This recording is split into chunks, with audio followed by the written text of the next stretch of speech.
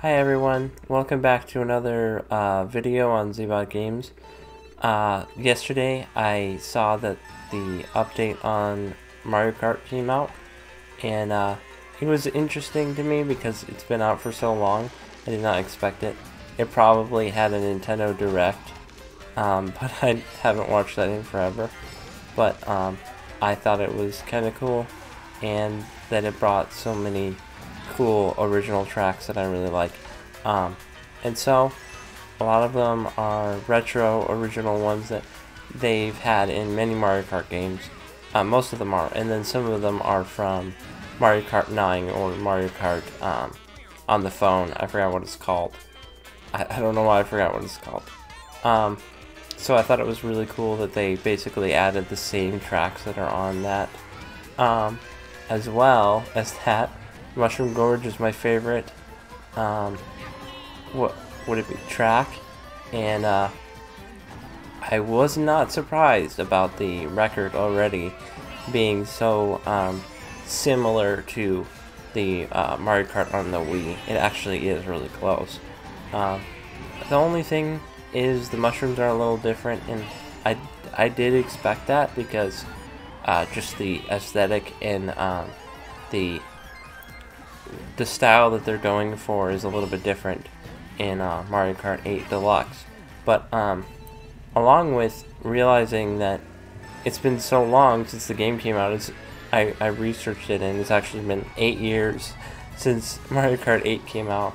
But um, Mario Kart 8 Deluxe came out um, a little, not as long.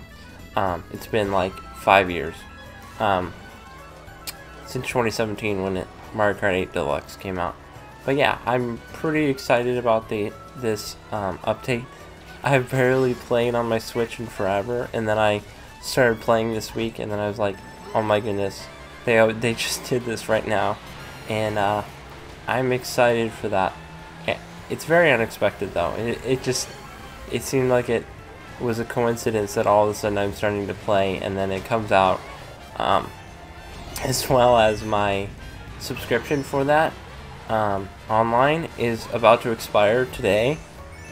And so, getting that video out today, or uh, I don't know when this will come out, but just having the footage on uh, the day that I'm ending my subscription for now, I might renew it, but I just thought it was kind of funny that it said like four days, and then like it with two days um, when I started to look at it, it it just it coincided like exactly. So I'm finishing up this video um, a little late because, like I said, I had no idea that this was coming out because I don't play my Switch very often. But I thought it was worth it to talk about it today because, you know, I haven't done much content on my channel, so I thought I might as well add a little bit of content.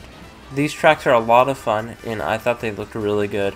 Um, they obviously look better because they're not on the phone, um, okay, it's Mario Kart Tour.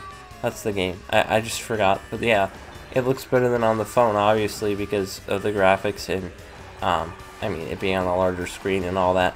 But it just, it's pretty cool. Um, the one thing is, um, it's a little odd trying to get used to the courses changing. Like in Mario Kart Tour, the routes change, and so likewise they made it change in there. I'm interested in seeing the courses that are going to come out by 2023.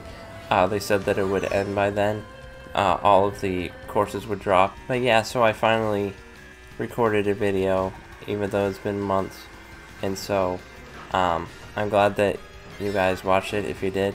Um, I might not continue with this channel for super long. I'll try to. Um, I have another channel that I'm recording on currently. It's on a different topic though. So it's taking up most of my time. So thank you guys for watching. Please like, comment, and subscribe if you want to see more videos like this.